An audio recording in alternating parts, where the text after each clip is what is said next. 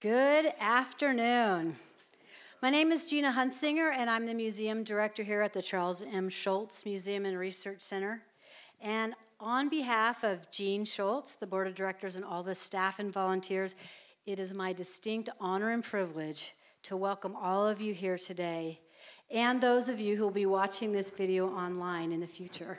So, if you ever wanted to know about Snoopy's adventures in space, the most recent ones, we have the four people on the planet who are the best people to talk about this here, right here on this stage today. Our moderator is Paige Braddock. She's the chief creative director of Charles M. Schulz Creative Associates. She was hired directly by Charles Schulz, and she oversees the visual and editorial direction of all Schulz licensed properties for 24 years. She's illustrated several Peanuts books, and she designed the U.S. Postage Stamp in 2001, and she was our commencement speaker when we just launched the Charles Schulz commemorative stamp last year. She has won an Emmy in 2002 for the, uh, the Apple documentary, Who Are You, Charlie Brown? Anybody see that? And in 2023, the Canadian Screen Award for the Best Animated Show or Series, The Snoopy Show. Anybody on Apple TV see The Snoopy Show? All right. She not only has done that for Peanuts, the Snoopy Show is um, on Apple TV, so definitely check that out. Um, she not only has a, a, large role in the Peanuts world, but she's also her own creator of things. She's an Eisner Award nominated comic strip artist, Jane's World. She author of the graphic novel Stinky Cecil, and she has a children's book series, Peanut Butter and Crackers, which just won the Beverly Cleary Children's Choice Award. So, without further ado, here is Paige Braddock.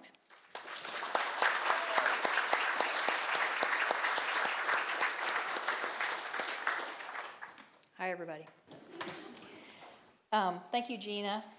And um, like many of you in the audience, uh, I have always been fascinated by NASA and space exploration. Um, I'm also a cartoonist. So today's presentation combines two of my favorite things. I'm honored and humbled to be here as the moderator for this esteemed panel, and I'd like to take a few minutes to introduce the panelists to you. Mike, first chair up.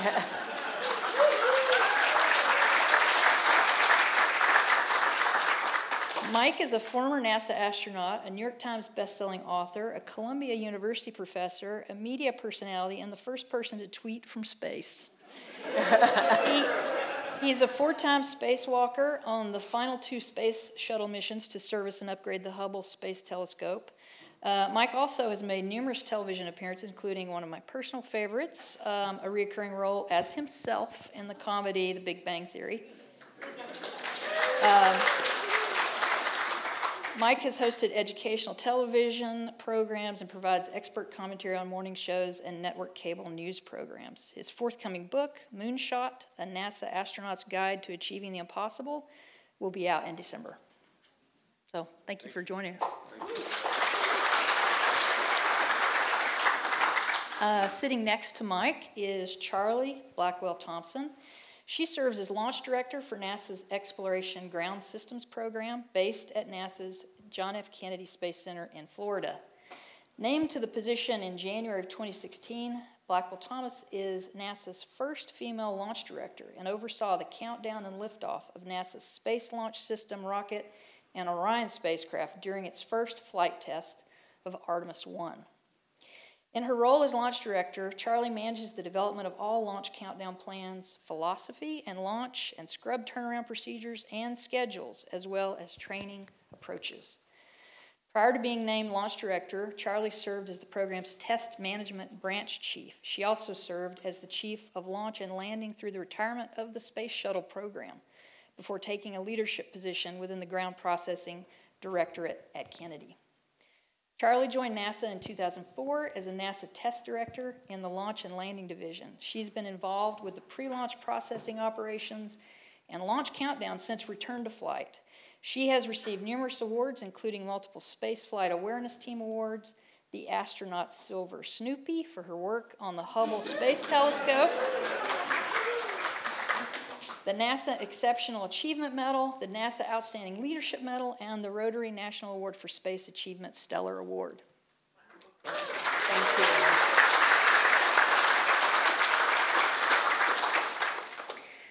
Melissa, I don't think you need to bother. I was really, I was standing up here thinking, I'm really glad Gina read mine first. And don't, don't believe a word Melissa says. She's amazing. She currently serves as the Senior Vice President of Marketing and Communications at Peanuts Worldwide in New York. In this role, she oversees major global marketing initiatives, a robust consumer communications program, and a highly engaged social media audience for Peanuts. Recent highlights include a partnership with NASA that sent astronaut Snoopy into space with Artemis 1, original and classic Peanuts, now streaming on Apple TV Plus, and the international multi year Take Care with Peanuts initiative promoting good global citizenship, which I know that Jeannie Schulz is a big fan of. And it was also inspired directly by Charles Schulz's comic strips. Throughout the course of her career, Melissa has worked on such iconic brands and characters as the Muppets and the Pets.com sock puppet, which I thought was, was really funny.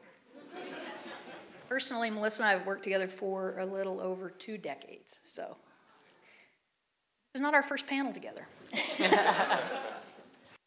for more than 50 years, Snoopy and NASA have shared a connection. NASA has had an association with Charles M. Schulz and Snoopy since the Apollo missions. Some of those connections only reside in Snoopy's imagination, but others are real. These two ink drawings were created by Schulz in 1969. Mike, I was wondering if you could talk for a minute about, about Peanuts' involvement with NASA and if that affected you as a fan of Peanuts and a kid in the 60s and 70s. Did it affect your decision to become an astronaut?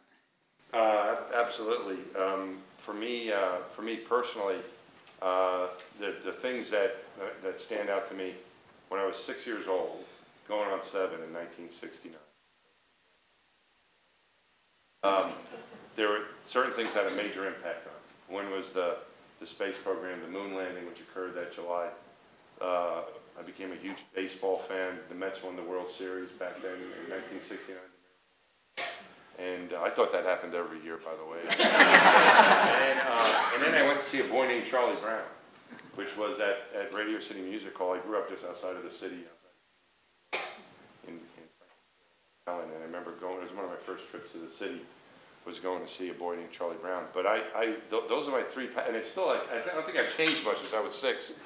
Uh, my wife can probably attest to that. Uh, but those are my still, still my, my, I would say three of my, my three passions of what I, what I really love meant to me, very meaningful to me as a little boy. So when I was learning about the space program and, and the preparation for Apollo 11, I was learning about that and excited about that that summer. My brother brought me my Snoopy toy, which is on display now in the museum, if somebody had a chance to see it. I, I think we have a photo of it You have a in this. Yeah. Yeah, But I got that, that toy when I was six years old, and uh, it, it, it gave me a- someone to play with uh, who also was an astronaut. So I was, I had these backyard adventures with me as, you know, Neil Armstrong, and Snoopy was my Buzz Aldrin, and, and that's what I did. I just, I, I wanted to grow up to be an astronaut. And so, uh, and the connection with, with Peanuts, seeing you know, Snoopy as an astronaut, as a little boy, and having that toy, and pretending and playing, and all of that. And then um, after I got to learn more about the space program and, and started working in the space program, I learned about the award that Charlie won, which was the, the astronaut Snoopy. That's, that's Silver coming up. Snoopy. You want to mention, oh, we're going to talk about that at some point? Well, I was just going to show these, these are some, some uh, NASA posters that featured Snoopy. Yeah, there you go. Um, And then, yeah, I have a photo of the Yeah. Silver Snoopy man. So, the agency Silver Snoopy Award,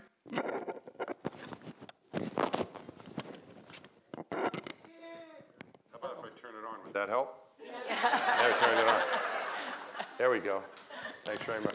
See, Char- see, You Charlie guys- sitting next to me has launched me into space and knows, she's not surprised by any of this. Because she knows, like, she would have everything, all the, I didn't turn on my own comm in the spaceship, did we? You didn't trust us. We- You had people do that, and we did all these comm checks, so, yeah, yeah. So Yeah, anyway. that's- Yeah, we should yeah. have had you do a comm check. We before did, should have done it, yeah, because I, uh, my, my mic was off, so.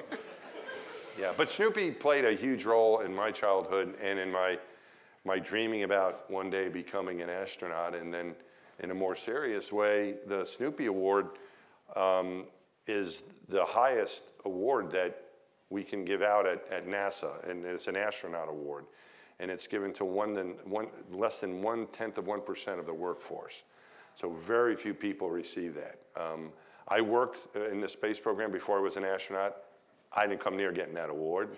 Um, I did get a chance to give many of those out though, because we would fly those pins in space and then present them. And it was, it's always a very meaningful uh, ceremony when we got to do that. Usually families came, it was usually a surprise. I don't know what your experience was like, but it was the highest award you could get was the Snoopy Award. And the Snoopy Award, um, the history that I know about it is that they were looking for a symbol, NASA was, to raise awareness, safety, uh, safety awareness. Smokey the Bear was the symbol of the um, Forest Service. And so they contacted Charles Schulz. Apparently, there's a story I've heard. I don't know what the conversation was like, but they, you know, they, they asked them to, to create an astronaut Snoopy for this award. But you received the award. What was that like for you getting that? Well, I mean, it was absolutely one of the most special days of my career, and, and I feel like as a launch director and having worked Space Shuttle for many, many years, there's been a lot of those special days. But the day that I got my Silver Snoopy, which was for work on the Hubble Space Telescope, which is uh, kind of mine and Mike's connection because he actually worked on the Hubble Space Telescope in space, and I worked on the Hubble Space Telescope on the ground, and I actually uh, was presented the award. You know, it, it, it is presented for, to someone who has and it's hard for me to see myself this way, but to someone who had an impact on mission success or flight safety. And it is a very treasured award. There's nothing, you know, today I got that award in the, gosh, it's probably been 20 years ago, and there's, there's still nothing as precious to me as putting that, that Snoopy on my lapel and, and wearing it, and I, I wear it routinely. Um, but it's very special because each of them flew in space, it is very special because it's given to you by a crew member, and it's usually a surprise that you're getting that award. So, uh, you know, Snoopy is, is a big part of, of that for us, not only a, the award, but I'll say for many in the workforce, that same connection back to their childhood, for me, the same, right? That connection to Snoopy and, and exploration and all of that goes all the way back to my youth. And um, I was continue- gonna say, I think for me, like growing up, um, I, I, and, you know, people who here don't know me, I'm probably more identifiable in my real life with Charlie Brown. That's like kind of, I guess who I kind of am. But I'd like to think of me as an astronaut, I channeled Snoopy. When I was, when I was going to the launch pad, I was channeling Snoopy. Well, we have a little bit of Snoopy on our next slide. Um, Schulz created comic strips of Snoopy on the moon, capturing public excitement about America's achievements in space. Um, Schulz used to say, I heard him say, that um, the comic strip was a medium in which anything can happen. And he proved that when he drew astronaut Snoopy as the first beagle on the moon. So here he is. I'm on the moon. I did it. I'm the first beagle on the moon. I beat the Russians. I beat everybody. I even beat that stupid cat next door.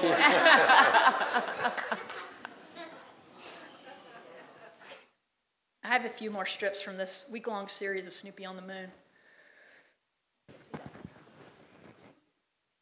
Lot of preparations to make. This is very serious. I'm really going to surprise everyone. They'll never believe it. First beagle on the moon. Here's the world famous astronaut taking off for the moon. All systems are go. A OK. How do you read loud and clear? We have liftoff. The bird is beginning to move. We have a lot of in expressions. Gotta remember this was the 60s.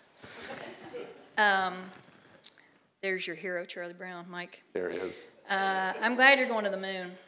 That means I won't have to feed you tonight. Report that man to mission control. This is the world famous astronaut calling Houston Control. Come in, Houston Control. Calling Houston Control. All right then, how about Petaluma?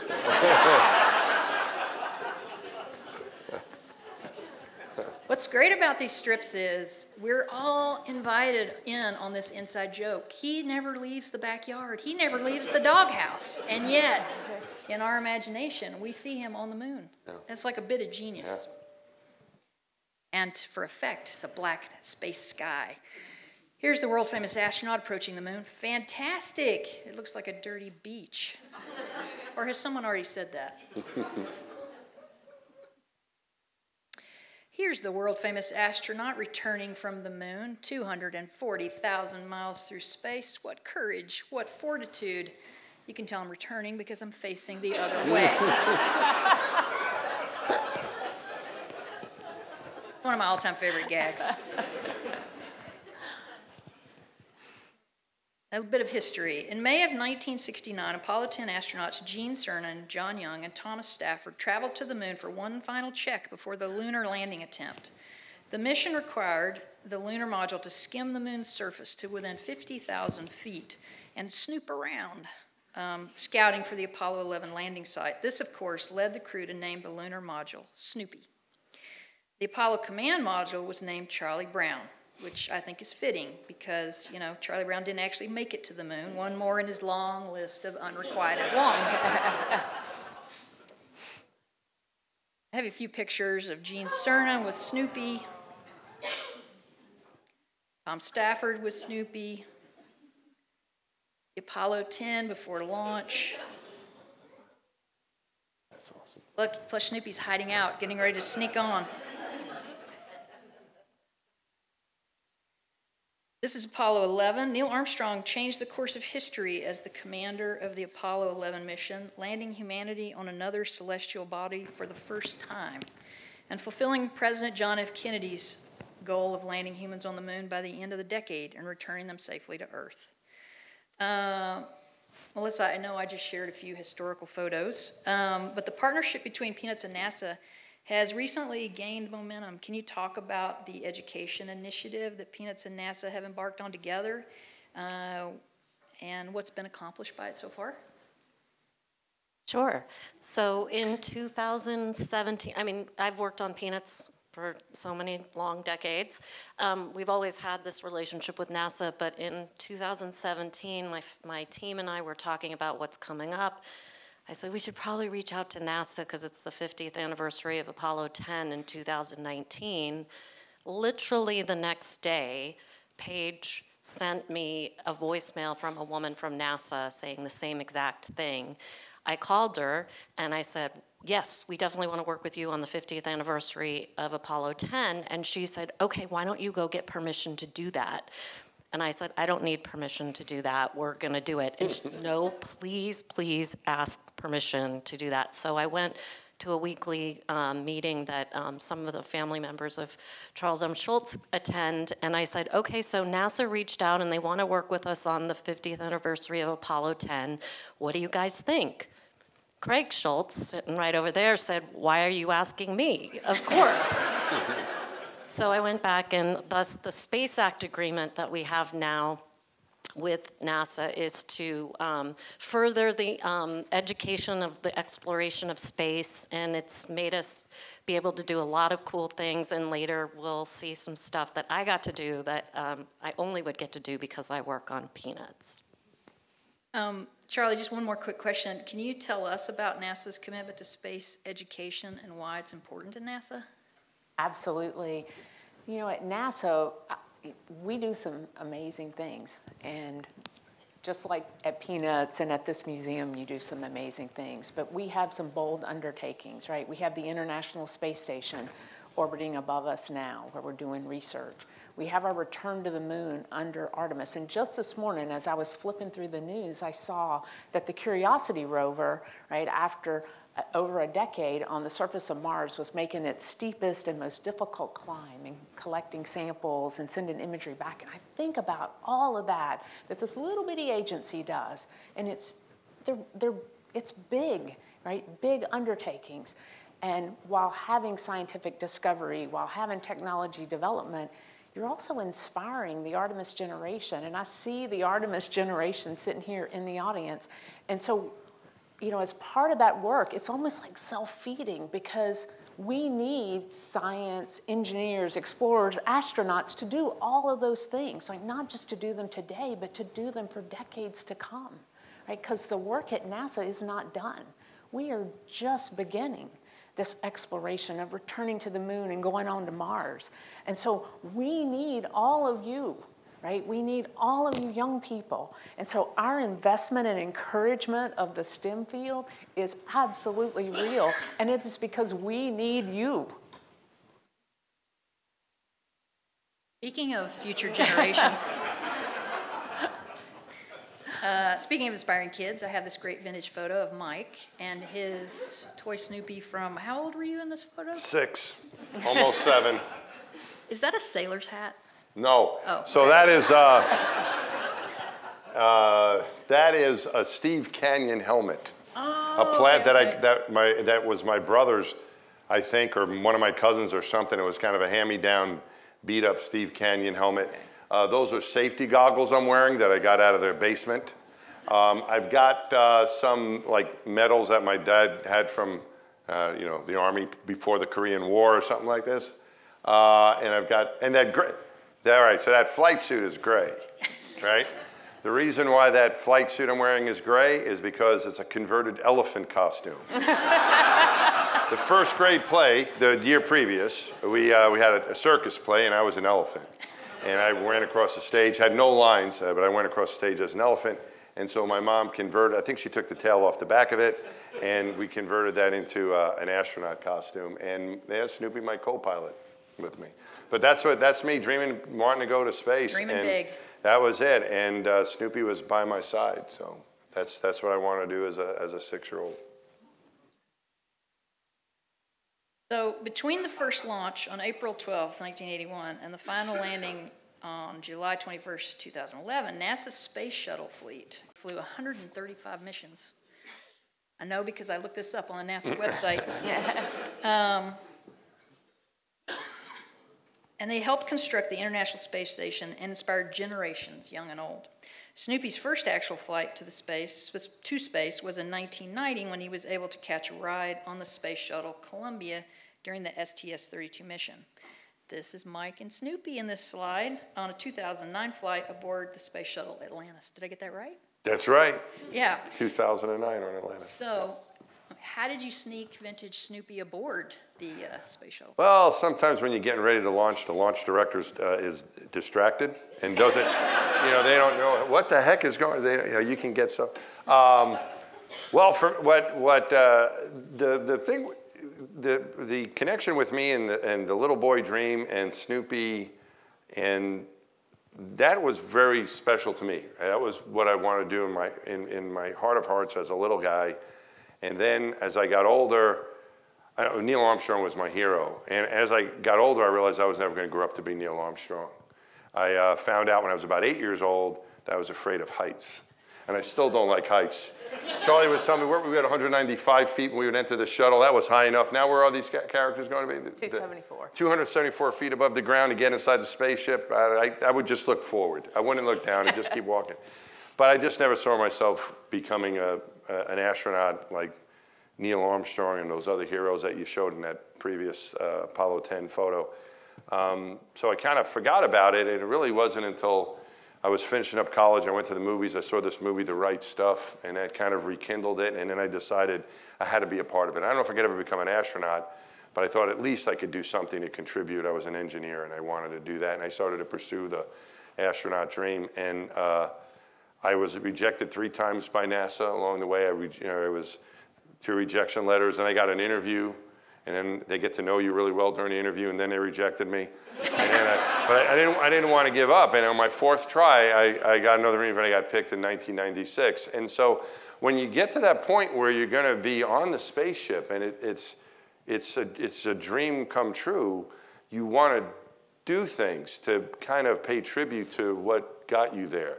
So I took things from my high school and from my college and from my family members and so on, but I wanted to do something that was special for, for me and that journey that I took. And so the thing I wanted to take with me was this Snoopy I had as a little boy, dreaming about going to space. And the way I got it on was that we were able to take a few personal items in a special locker that we had on the space shuttle.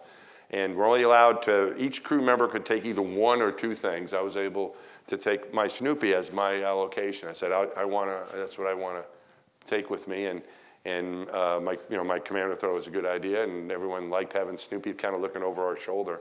the whole mission. But it was very special for me because I think that when you when you're dreaming about doing something when you're a little a young person and you don't know if it's ever going to happen, and then along the way as you become an adult and you get knocked down a lot and told no and things don't always work out, you just got to keep going. And then if you get lucky enough that you get to where you're dreaming about going, I think it's really special to look back on the things that got you there. And so that's why, I, how could I go without Snoopy? Right. It really is. and I'm glad we get a chance to share them here at the museum. So. So, this is a photo of you on a spacewalk. It's, it's one thing Yeah. for Snoopy to land on the moon, all from the safety of the comic strip, which is ink on paper and all in Schulz's imagination. But here you are in the vacuum of space with our planet rotating beneath you. All that separates you from an infinite sea of darkness is a spacesuit, a visor, and a tether.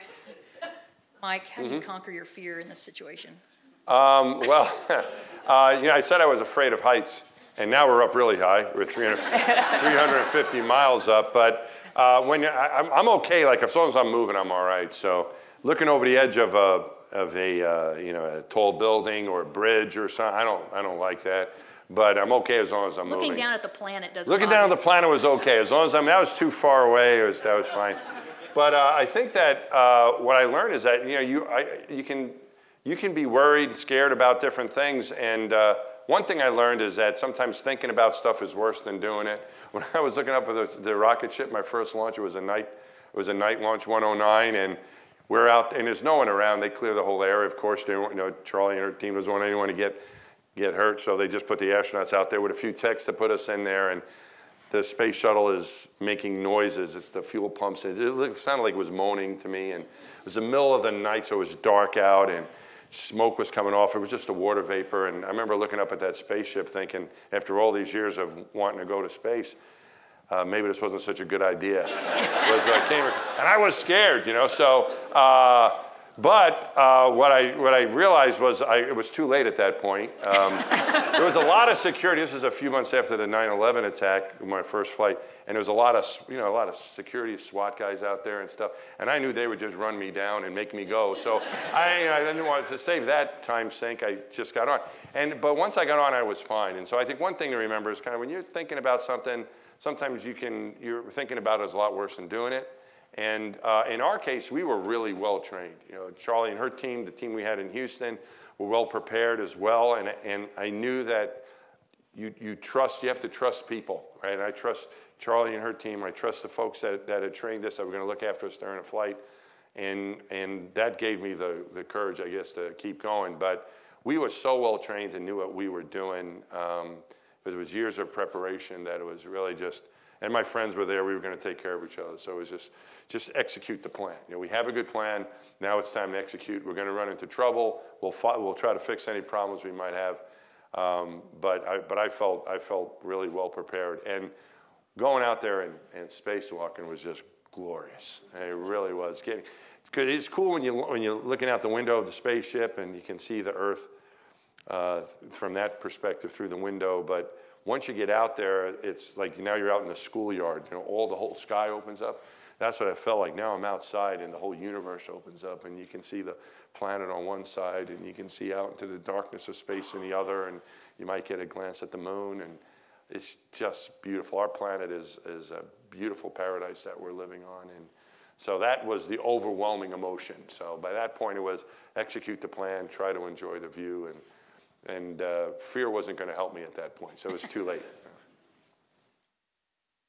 Um, this next slide is, um, this was related to Artemis 1, which was an uncrewed t- flight test of the Space Launch System rocket and Orion spacecraft around the moon that launched in November of 2022. The only passenger on this flight was Snoopy as the zero gravity indicator.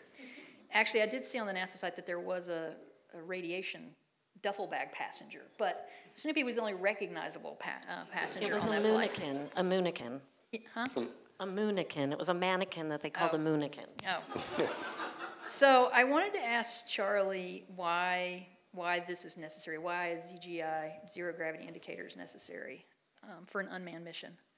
Well, for an unmanned mission, I would say it's even more important than ever, right? Because what it does is it's a small item that you can place on board a spacecraft, and in this case, it was Snoopy Zero G was placed inside the Orion spacecraft, and so it gives you a visual indicator of when you have reached uh, the weightlessness of microgravity. So we could actually see Snoopy as we flew this mission, this 25 and a half day mission, you could actually see Snoopy as he floated through the Orion capsule.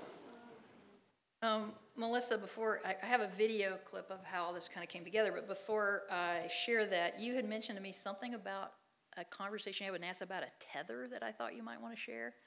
This is another example of NASA asking me to go ask people if it was okay, but I said it was okay. They, they called me to say that Snoopy had been selected as a zero gravity indicator. I was about ready to ship them a Hallmark plush, and they said, no, we need something new and, and unique. And so uh, we, we built this zero gravity indicator, and you'll see a video that tells a little bit about it. But I delivered him to the Artemis 1 spacecraft. I went up the elevator to the top of the spacecraft with Charlie, which I've been told is taller than the Statue of Liberty.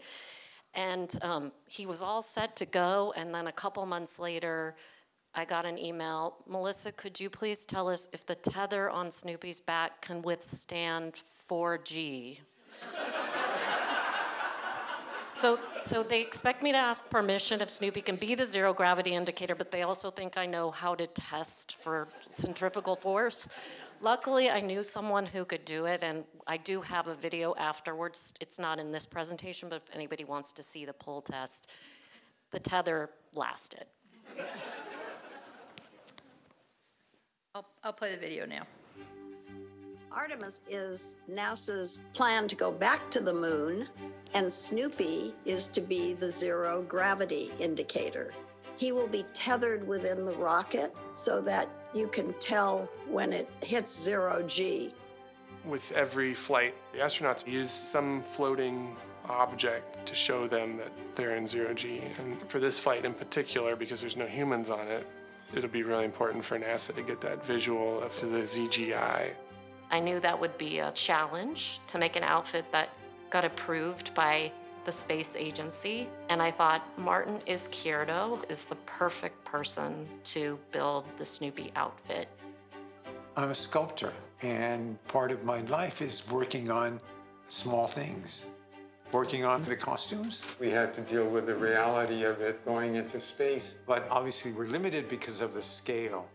She rebuilt the legs and the arms because they were too short. So we added an inch and a half on, on the length of the arms and the feet. Otherwise, we wouldn't have had any room for the details that we do have now. This goes on and fits in here. Inside, okay. The helmet is made out of a shape that's more like a wide incandescent bulb, whereas the visor is made out of a perfect globe of plastic. And the complex curves of the helmet provided a challenge with how the visor would fit on top, not to mention the snout of Snoopy. And I love the challenge of taking these materials to create this unified piece.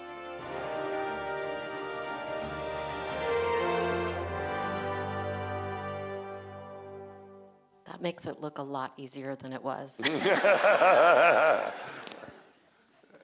So this next slide is of the Artemis launch in November that Snoopy was on, and I was wondering, Charlie, um, can you tell us about the Artemis One launch and your experience in the firing room? Absolutely, I would love to share that. Um, so we did have a really important passenger on the Artemis 1 launch. We were thrilled to have Snoopy be a part of that mission.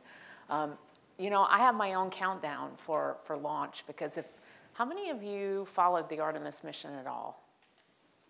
How many saw the launch? Awesome. So you know we didn't go the first time, right? So I have my own countdown, uh, and it is, it goes something like this. Um, we had five tanking events outside of launch um, to make sure that we had that loading uh, down. We had four wet dress rehearsals, which is where you try to get really low in the countdown. You know you're not going to launch that day, but it's all about testing everything out. We had four of those. We had three launch attempts. We launched on the third one. We had two hurricanes. one we rolled back for, and one we stayed at the pad. And then we had one outstanding launch and spectacular mission. Um, but it was a bit of a challenge. It was a first flow. And so, one of the things that I learned after being in this business for 30 years is that when you are deploying a capability for the very first time, um, there are going to be challenges that you work through. And, uh, and this was all about a test flight, and it was about testing out the systems before we get ready for putting crew on Artemis 2.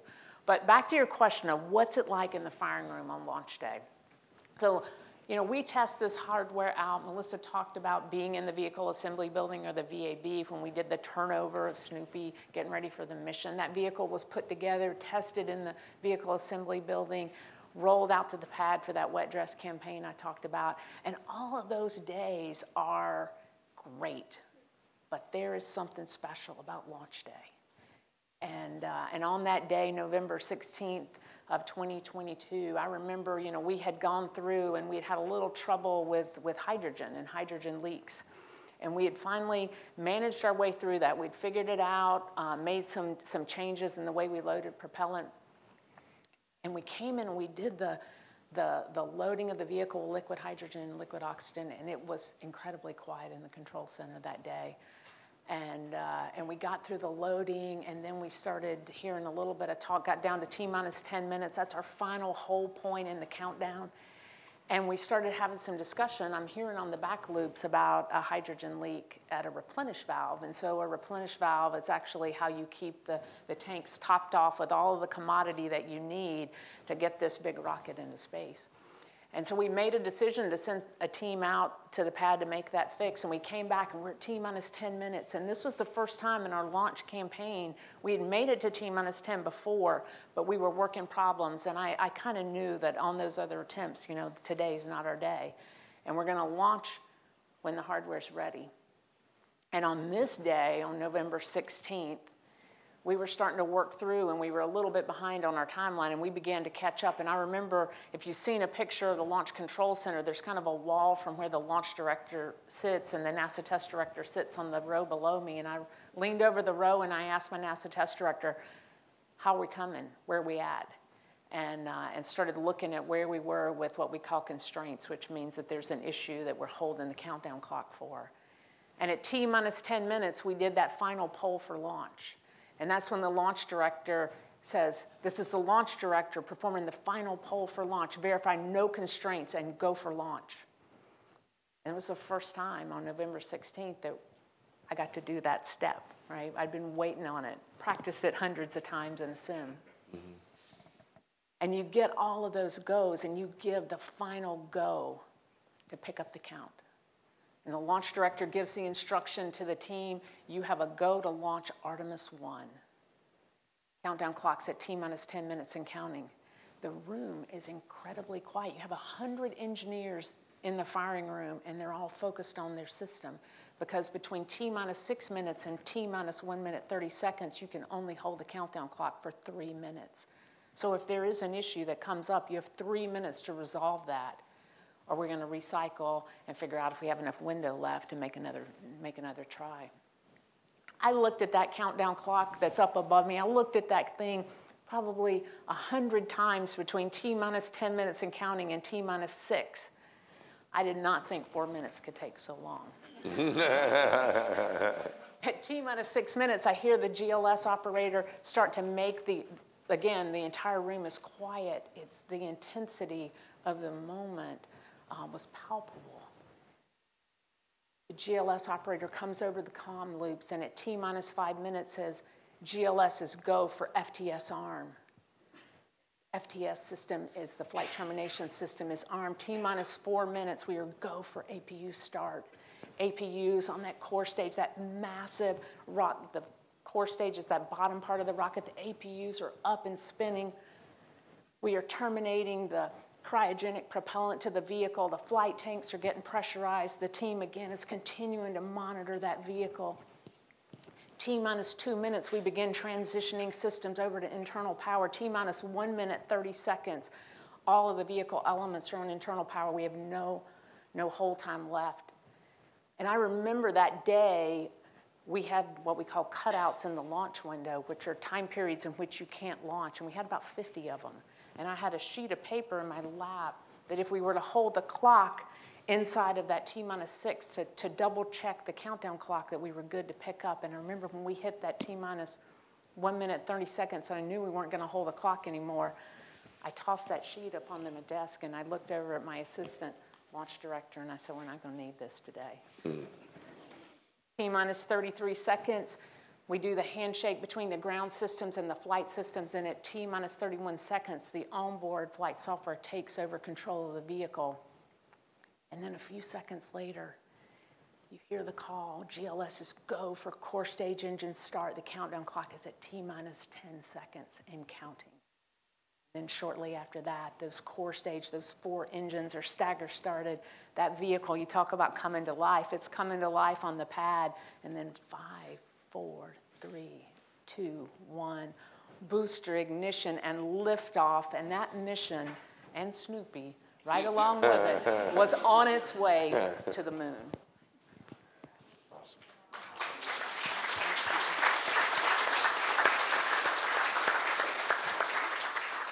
We were, we were talking a little bit before the, because I'm such a nerd, I was like pelting them on questions before we got down here, but you mentioned that this was the first time in a launch you actually felt the floor move when, with liftoffs, because that's. Yeah, when you have, when the vehicle lifts off, there's this huge sound wave that comes off the pad, and if you're anywhere along the Space Coast, like during the shuttle missions, you could feel it. And one of the things that happens, like a little known fact maybe, is that as that sound wave comes off of the pad, the windows in the launch control center will shake, and you will hear for a few seconds, you know, this vibration of the windows, and you'll feel that pressure, you know, even push against you.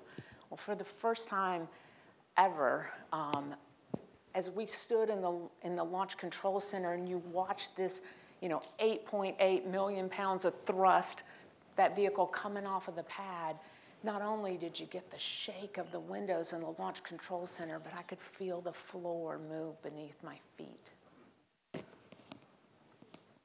It was, uh, it was something. It was something special. I have the next shot I have is actually footage from our, the Artemis Moon mission. Um, this one of the my moon and favorite. Earth from space. Um, I remember when NASA shared this photo on social media, and it was the most frightening photo I have ever seen. See the Earth? When I see this, this is one of my favorite photos oh from my gosh, the mission. this photo scares me to death. I'm, I'm wondering um, if you could Poor tell us. You, I know. so far from his supper dish. Um, I'm wondering if you or Mike could talk a little bit about um, what do you hope to le- learn from this mission, like this unmanned mission, and then anything else you can tell us about Artemis. Yeah, so I'll take a shot and then I'll hand it to you, um, Mike. So let me say, this is one of my favorite photos. And to me, it's my favorite photo because it is what exploration is all about, right? This is the Orion spacecraft, our home planet, in the kind of far away. On the other side of the on moon. On the other side of the moon, yes. But when I look at this Artemis generation that is here, I think about what will that body be in your in your time of exploration, right? Where will you take us? Right?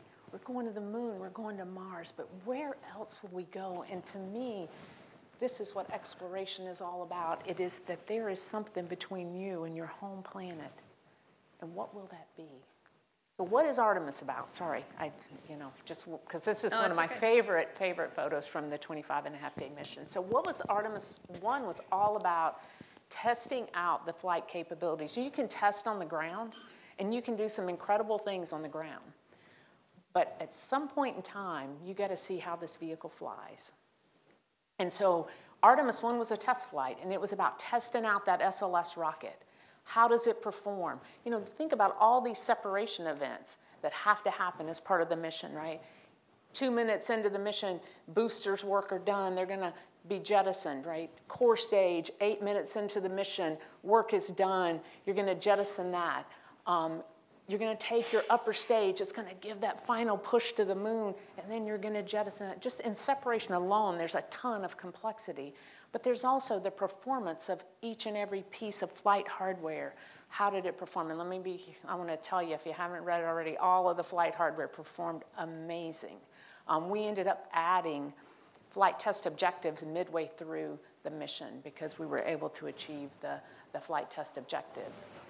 I just happen to have this inside shot, so I thought while you're talking, Oh, I would just yeah, show that totally. too.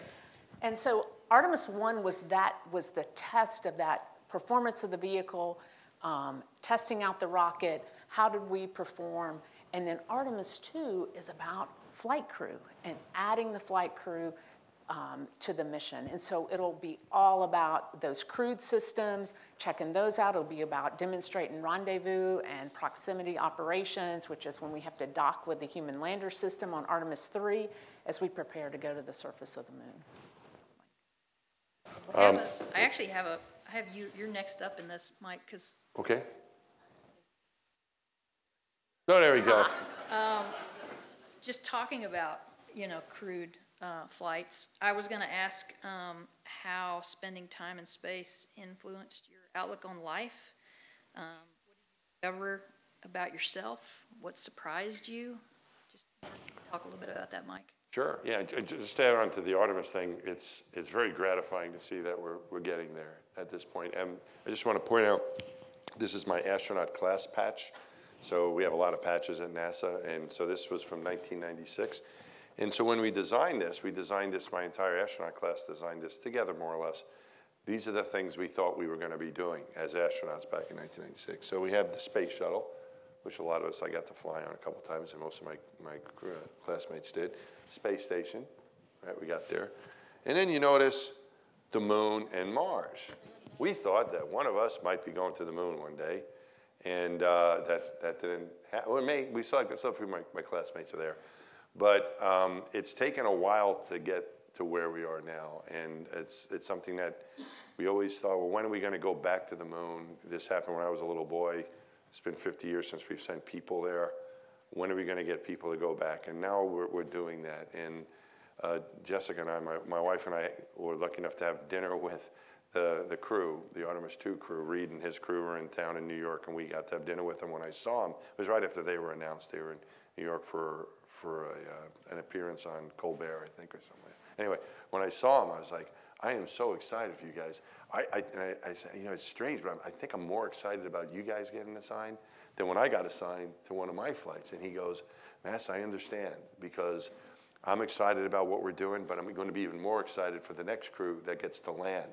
And so I think for all of us at NASA that have been a part of it, this is where we thought we've been headed for a while, and now we're, we're right there. So it's a very exciting time, very meaningful to, to everyone. I think the whole world, and it's not just going to be a U.S. accomplishment. I think that, uh, and that's maybe one of the things that I learned in space, that, you know, we, we all kind of, we all share this planet, and we all, no matter where you are, there are certain things that you can share together. And um, the, the, the astronauts that went to the moon during the Apollo program, they were shocked that when they went to other, this is what they've told me, when they went to other countries around the world, it wasn't like the Americans did it, which of course they did, but it was more like we did it. The whole world did it. And I think that's something on this level, on this scale of going to the moon again with people and Snoopy maybe too, uh, is going to be the kind of thing that, that I think will, will be very, very important to a lot of people. What I learned in space, I think that uh, I learned a lot about as an astronaut. I learned about teamwork and leadership and all kinds of cool things I never thought I'd learn about in, in the way that I did of how important it is to be a be an important team, uh, like Charlie and I have been a part of. Um, I think what I've learned about our planet is a couple things. One is that we're living in an absolute paradise. Uh, it looks. I felt like I was looking into heaven when I looked at our. I can't imagine any place being more beautiful than our home planet, and I think of that. And I think of our when I walk around it now. even though I don't see it from that perspective, that's the way I think of it, that we are very lucky to be here, that we're living in an absolute paradise. And then the other thing that I learned is that my, the change that changed for me was my concept of home. Um, when I, I, I mentioned I grew up in Franklin Square, Long Island, that place was my home when I was a kid. So if you, if, if you asked me in my early years, up until maybe going to college or so, where I was from. I was from Franklin Square. That's where I was from. When I thought of home, that's what I thought of home. And then after college and going around the country a little bit, maybe working, I thought of myself as a person from New York. I'm a New Yorker. That's how I started to think of myself. I'm from that part of the world. And then as an astronaut with the American flag on my shoulder, I think I thought of myself as an American. You know, I'm going wherever I'm going. I'm an American. I'm from the United States. But now, what's changed? When I think of home, I think of Earth. I think of that's that's where I'm from. And going around it is, I haven't. There's a lot of places I haven't been to on the ground. I've seen a lot of stuff, but I haven't got a chance to. A lot of places I haven't been yet. But uh, but I, I, I've, I, I, my connection with home now in my mind is Earth, and it's a place that we all share, no matter where you're from, throughout this planet. We all have that in common that we all share the same home. So those are some of the ways that that my spaceflight experience has altered the way that I think about things just about every day. I put a slide above the um, space station, and Melissa, I remember you saying that Snoopy had also been aboard the International Space Station. I thought we could just give a shout out about that. Yeah, Snoopy's been also been in the Macy's parade more than any other character, which is another thing for him to brag about. But in 2019, in honor of the 50th anniversaries of Apollo 10 and 11, we launched astronaut Snoopy in the Macy's parade, and someone from NASA said, I think we can get a Snoopy up to the ISS, and maybe the astronauts up there can record a message that can be aired during the parade. I said, Well, I have to ask Macy's. Um, of course, Macy's said yes. Um, so there is a, a, Snoopy in the exhibition upstairs that was on the International Space Station um, in honor of the launch of the astronaut Snoopy balloon, who took his last flight last year. Sorry. Um, this is the Hubble telescope, and I wondered if Charlie could tell us like a little bit about that telescope. I mean, it took a lot of great pictures. I don't know what its mission statement was beyond that, but. well, I'll talk a little bit about it, and I know this is also near and dear to Mike's heart, so I'll uh, I'll hand it to him as well. You were there from the but, beginning, though. But I uh, I had the opportunity to work on Hubble. I remember when I started at Kennedy and I hate to put the years out because I know you guys will do the math and then, you know, kind of like with, with Mike and you'll figure out, wow, she's pretty old. But, um, but I started at Kennedy in 1988 and I was right out of school. And I remember there was all this talk about this amazing telescope that was to come. And a few years later, that amazing telescope came to Kennedy, and that was Hubble. And we were processing it, getting it ready. And so when I think about Hubble, um, I don't remember the mission statement per se, but what I would say about Hubble is that Hubble changed the way that we see our universe. It changed our understanding. It helped us see it and see it differently and see it in color and in this magnificent beauty um, like we had never seen before. And I think about as I was a young woman and we were getting ready to to launch Hubble for the first time, and then the servicing missions that were to come. And then, you know, now I have grown children, and I remember as they studied science and they went through different curriculum, how I would see the pictures that came from Hubble um, as part, and I think, you know, how it really changed the way we see our solar system. Um, and so to me, Hubble was absolutely amazing. And then you look at the images that are coming from James Webb Space Telescope today, and you realize that there is just so much to learn. Uh, and it, it, you know, it's just incredible. And so, Mike, having worked on Hubble, I'll hand it Yeah, no, I was I was uh, thrilled to be a part of those missions. Uh, my two spaceflight missions were both Hubble. The, the, there were five missions to service the telescope. There was initial launch, and then they serviced it five. We serviced it five times. I was on the final two of those, and uh, it was a great team to be a part of. Both, of course, Charlie's team to launch us, and the the folks who trained us and controlled the mission from Houston during the flight, and then all the people that the, that uh, got us ready, the engineers that built all the tools, and uh, it was just a great team to work with. Um, it's a. I look at I look at the telescope, I and I I, I see a, a, an engineering wonder of what it's able to do. It, it provides us great science because of the great engineering behind it. One of the things, for example, is that its gyroscopes are able to hold uh, the position of the telescope very accurately. It's traveling 17,500 miles an hour, which is really fast above our planet. but it's able to track a star or whatever it's looking at, a, a galaxy, a star field, a, a, you know, whatever it's looking at, all these beautiful things, these images that you see, the way we're able to get those is because the Hubble is able to point so accurately while it's moving that fast. It can keep a steady image going, a steady shot, as if you had a, a, um, uh, a pointer, a laser pointer, uh, in, on the Empire State Building, you could hit a dime on the Washington Monument. That's how accurately it point that points. It's and it was uh, designed to be serviced by astronauts, so we were able to take pieces of equipment out and put new ones in. If something wasn't working any longer, new technology came along, we could upgrade the telescope. So it's an engineering wonder as well as what it provides scientifically. And what what I think is cool about it, there's many things that are cool, but um, Charlie mentioned the beauty of the universe and, and, and what we've learned. Um, one of the things that I found out was that they learned stuff they didn't even know they were going looking for at the time. So they knew, like they kind of thought black holes were out there. So they said, let's point Hubble. And they found black holes with, with Hubble. And they thought, oh, we think there's planets in other solar systems. And they found them with Hubble. But they knew to look, they knew they wanted to look for that stuff.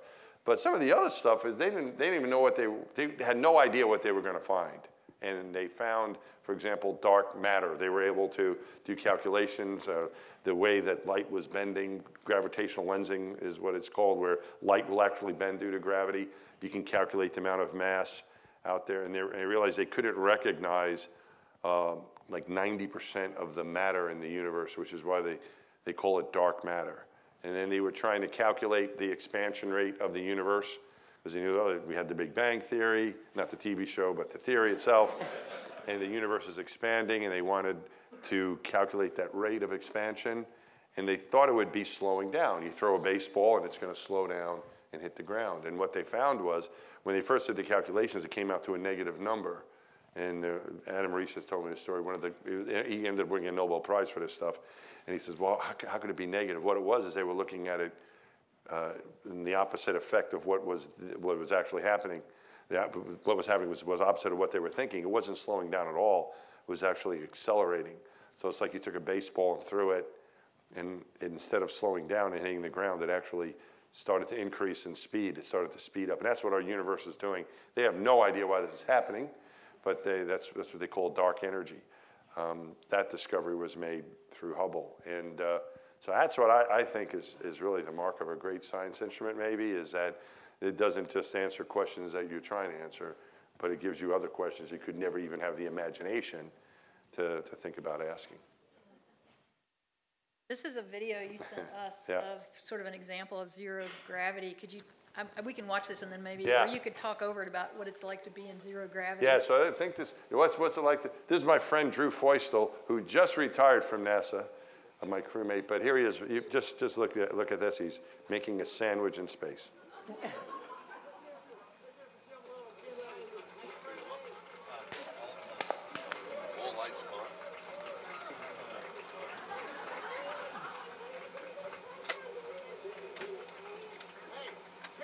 You wash that spoon later? licks it.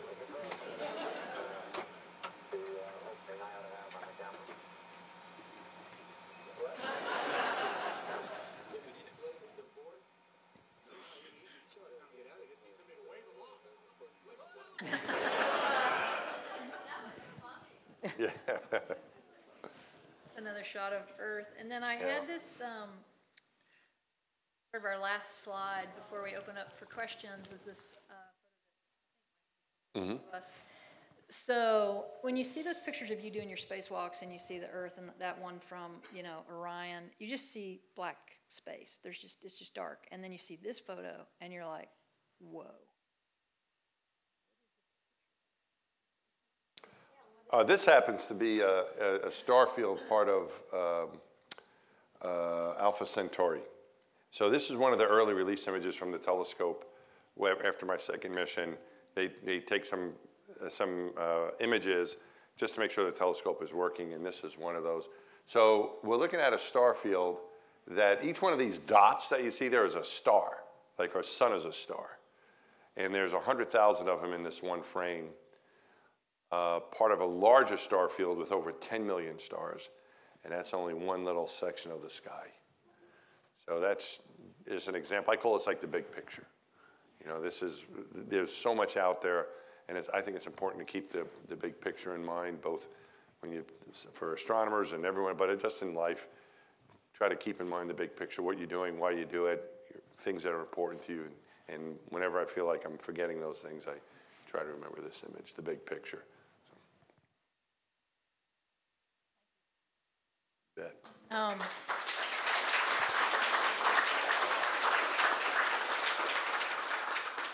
We're just a little bit over time, um, but we also started a few minutes late, so I wanted to give the audience a chance to ask at least a couple or three questions. Um, if anybody has a question, raise your hand. We have a microphone floating around out there. Jessica can find you. Oh, Aaron Samuels has a question. I can repeat it if you don't want to hand the mic over there. Oh, okay. It's coming it kind of uh, relates to what you were just asking or pointing out with this. When you're in space and you look out, do you just see blackness or do you see stars? Because every photo is black. Yeah, it depends on how much light is sort of around you. So, um, like from the cabin, if you turn down the cabin lights, uh, when you when you're over the uh, uh, the sunlit part of the Earth, uh, which so the sun's out right now, right over California. So we would, if we're flying over California now in space, we look at the Earth and we would see a you know, very beautifully lit uh, Earth. Um, when we, especially at nighttime though, when we get when it's now we're out of the the, the sun is not shining.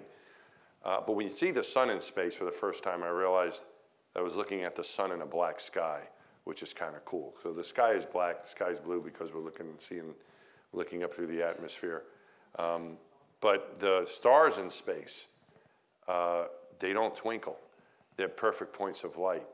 It is, the, it is like the most amazing planetarium you could ever imagine. You see all of them, all the constellations, everything. And so they don't twinkle. The reason that stars twinkle is because the light is being uh, distorted through the atmosphere. Uh, so Twinkle, Twinkle, Little Star was written by someone on Earth more than anyone in space. Because they don't, they don't twinkle in space. They're perfect points of light. And that's the advantage that Hubble has, is that it's above our atmosphere. So looking at the universe, looking at the stars, um, it's kind of like look, being in a pool and looking up to, through the pool water, trying to, you can't really see. We've got water in our eyes. You can't really see what's going on. As soon as you get out of the pool, everything's much more clear, right? And that's the same thing that the atmosphere sort of does to our ability to see stars on Earth. So when you get to space, and you and you can see them as these perfect points of light. They are they're just beautiful, and you can see the different colors. You can see the Magellanic Clouds, the clouds of the Milky Way. Uh, it is just amazing. It never gets old. It's just beautiful to see that. The moon was really cool, I thought too. Because to me, like the moon, the moon, when I see it from Earth, it's kind of like two dimensional most of the time, you know, and it's kind of bright sometimes or maybe dark. But, but in space, you see it in three dimensions and you can really clearly see the, the, the craters and the grayish color, and it's just really cool. It looks like a basketball hanging out over there. That, so that was cool. Uh, but the star, you know, the star, we're not that much closer to the stars. I mean, the stars are really far away, and we're a few hundred miles closer from low Earth orbit. When the moon, they'll be a lot closer to them, but still, even that, they're so far away. But you just see them more clearly. So that's the biggest difference in, in being able to look at the sky at night. Little, little trivia side note, the, the person that asked that question, Erin Samuels, also worked mm-hmm. with Mr. Schulz. She used to do the color on the Sunday comics oh, with cool. Sparky. Cool. Give her a little shout out. There was a question in the back, I think. Um, so th- this is a technical question about Mars. So everyone talks about terraforming Mars, um, but the thing that they never seem to address is the fact that Mars doesn't have a molten core. And so there's no magnetic shield protecting it from solar wind. So, you know, Elon Musk talks about dropping nukes on, on the poles and, and releasing the water vapor and creating an atmosphere. But wouldn't that, something like that, just be stripped away by the solar wind? I can take this one.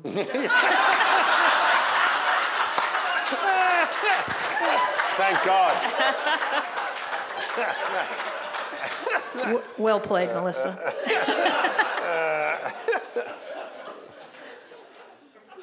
Mike You wanted Yeah, uh, whatever. You want me to- what are we talking about?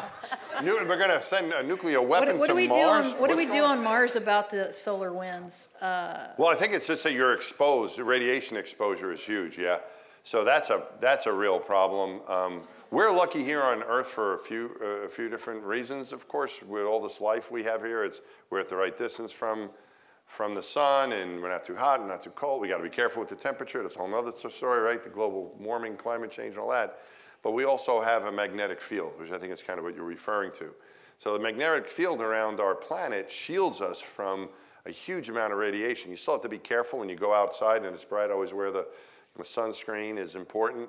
Um, but the higher you get away from our planet, the more you're exposed to that. In space, you're very exposed. Hubble was 100 miles higher than where the station is, so we even got a larger exposure. In fact, my Snoopy that is here on, uh, on display was on display at another museum. No, you know, no jealousy here, but, but a few years ago was on display at the museum, the Intrepid Museum in New York, where, where I live now. And when I delivered Snoopy there, uh, they asked me, you know, that they called me up and said, you know, it seems like he's gotten a lot of, uh, it seems like radiation damage is, is they had, a, they were going to help him out. He had a broken leg and his tail had broke. It is terrible to say this, but they had to fix him, my toy. And then, and they said, we, we haven't seen, you know, this. It seems like he's had a lot of, you know, was he exposed to a lot of radiation? I'm like, well, yeah, we were up at that Hubble altitude and he was there with me. And they, I go, that's it. And they go, oh, okay, we just want to know what it was. And I hang up the phone. I go, what about me? You know, I mean, I was there with them. You know, I'm like, what the heck? No one said anything, Charlie. I, you know, sometimes you don't want to ask questions. You know, like what is something?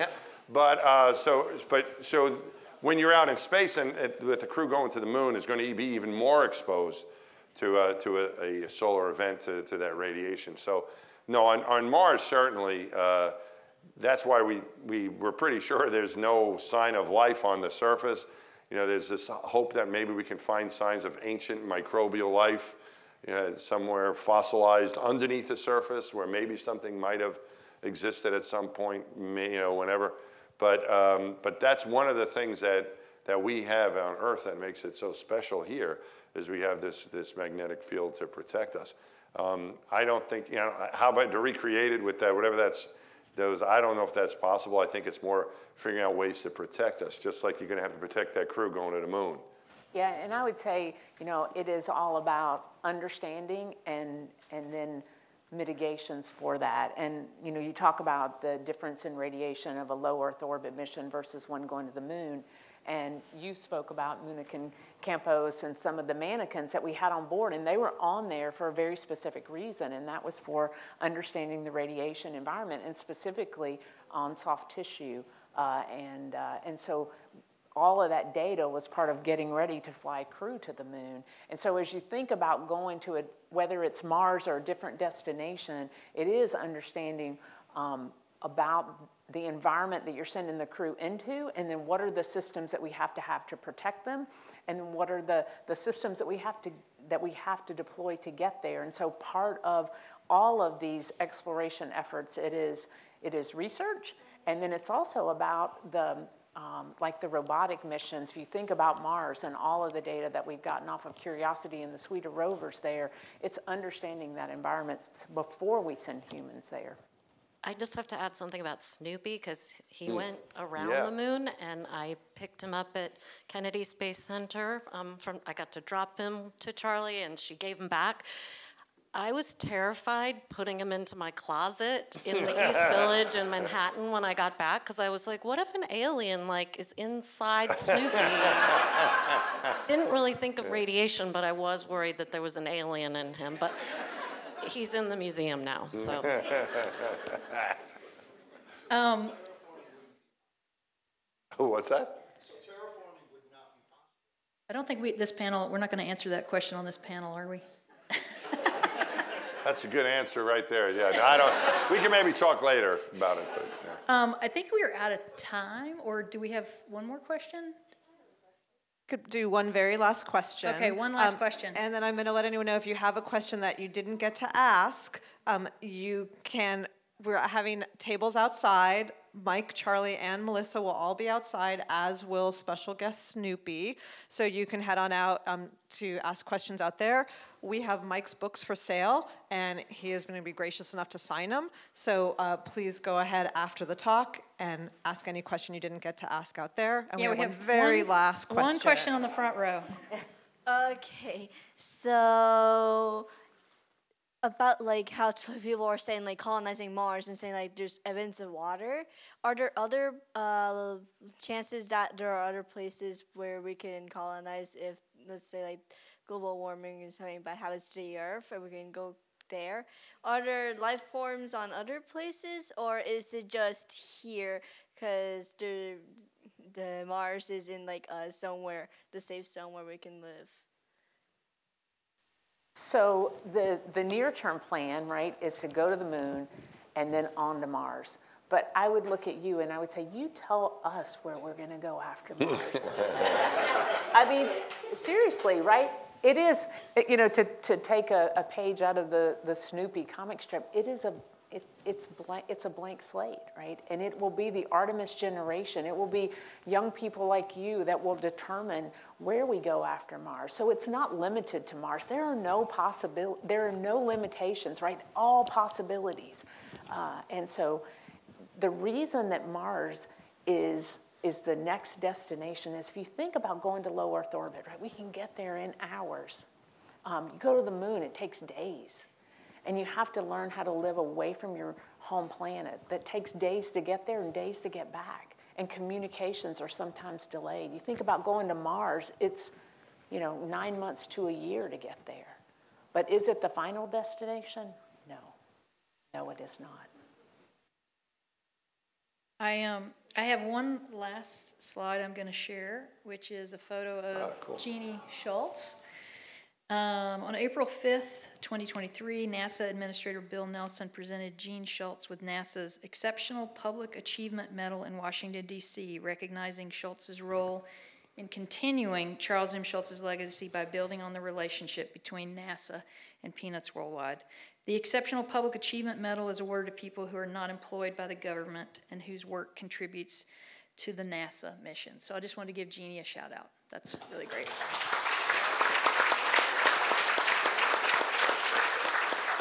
Thank you to our panelists, and also thank you to the museum and the museum staff for hosting this event. And the end.